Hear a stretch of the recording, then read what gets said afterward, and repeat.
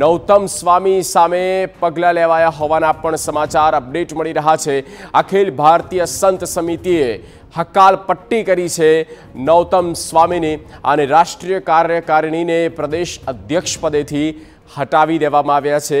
આ ઉપરાંત સળંગપુર વિવાદ બાદ નૌતમ સ્વામી અને તેમની સામે આક્રોશમાં આ સંગઠન અને આ આકરા પગલાં લેવામાં આવ્યા. સંત સમિતિના અધ્યક્ષ પદ પર તેઓ હતા અને આ મીટિંગ મળી અખિલ ભારતીય સંત સમિતિ દ્વારા તેમને તેમના પદ પરથી હટાવી દેવામાં આવ્યા છે. રામેશ્વર બાપુ હરિયાણી ફોન લાઈન પર જોડાયેલા છે.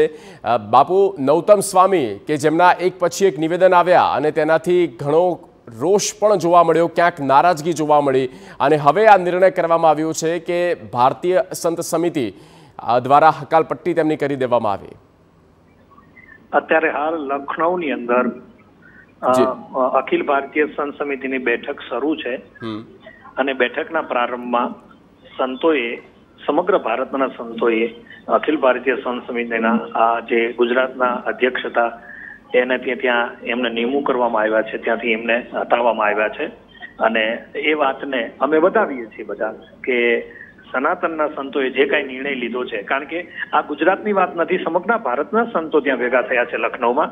અને અને એ પણ આવનારા સમયમાં થોડા સમયમાં હમણાં વિડીયોઝ અને લેટર પણ આવશે એવું મને સમાચાર મળી રહ્યા છે. પણ અત્યારે હાલ એવી જાહેરાત આવી ગઈ છે કે એમને હટાવવામાં આવ્યા છે.